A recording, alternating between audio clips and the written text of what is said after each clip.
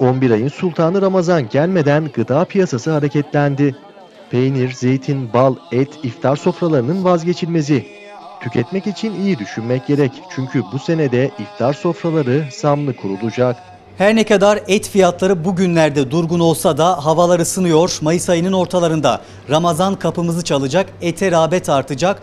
O rağbetle birlikte et fiyatlarının 1 ila 3 lira arasında artması bekleniyor.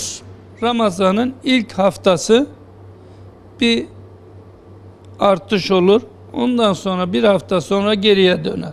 Ete uygulanacak Ramazan zammı sanıldığının aksine uzun sürmeyecek. Geçen seneye göre sofralara et koyabilmek için cebimizden 3 lira daha fazla para çıkacak.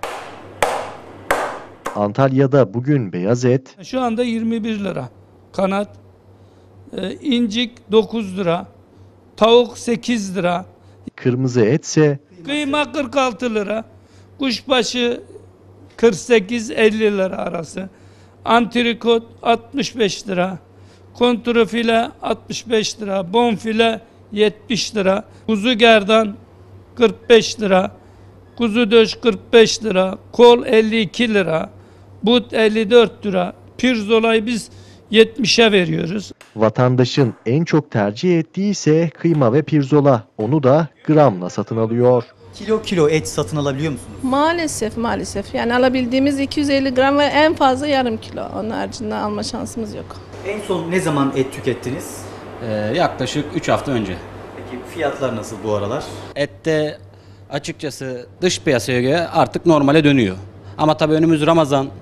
Ee, bir tereddüt tabii halkımızda olduğu gibi bende de mevcut. Ramazanda uygulanacak zammın nedeni ise hayvancılıktaki yüksek maliyetler. Etin bir girdilerini, bir maliyetlerini bir hesap etseler bizim verdiğimiz et pahalı değil ki. Geçen seneden bu seneye kadar hesap ettiğimiz zaman girdilerde yüzde otuz, yüzde elli arasında zam var. Antalya Kasaplar Odası Başkanı Osman Yardımcı herkesin et tüketebilmesi için KDV'de düzenleme yapılmasını talep ediyor. Ette yüzde sekiz KDV var.